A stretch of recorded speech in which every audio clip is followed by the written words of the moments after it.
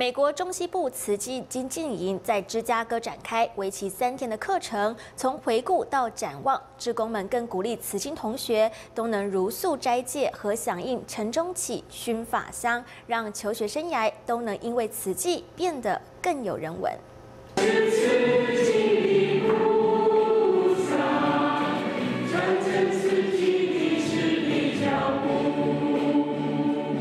国中西部慈青精进营在芝加哥正式开营，从最基本的仪态和行住坐卧都融入课程中。学长姐还以经验谈教学弟妹吃素的健康之道。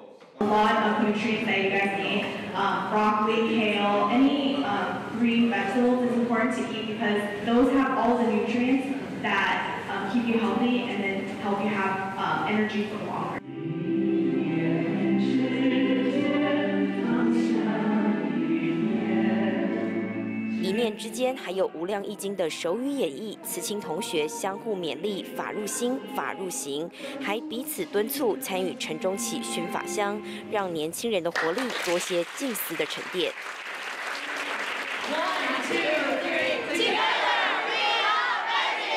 大新闻真善美之工菲利普刘廷佑美国报道。